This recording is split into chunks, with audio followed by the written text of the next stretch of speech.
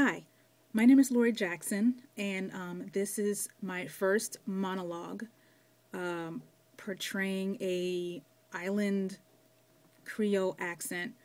Uh, I'll do the very best I can. Okay? The name of this monologue is called The Cradle Song by um, Giorgio Martinez Sierra from a play. So um, if you give me one second here, and um, we can get started. Okay. Do you know how I would like to spend my life? All of it. Sitting on the ground at his feet, looking up into his eyes, just listening to him talk. You don't know how he can talk. He knows everything, everything that there is to know in the world, and he tells you such things. The things that you have always have known for yourself in your heart, and you couldn't find out how to say them. Even when he doesn't say anything, if he should be speaking some language which you didn't understand, it would it is wonderful. His voice.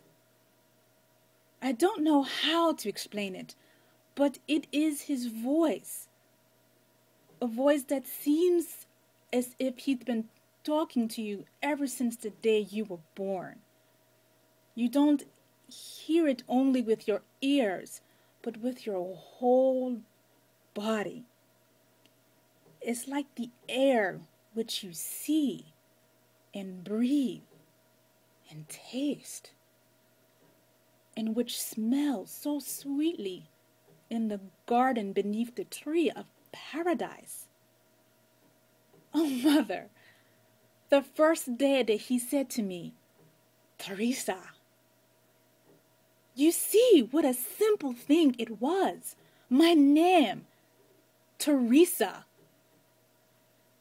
Why it seemed to me as if no one, nobody had ever called me by that name before, as if I never have heard of it.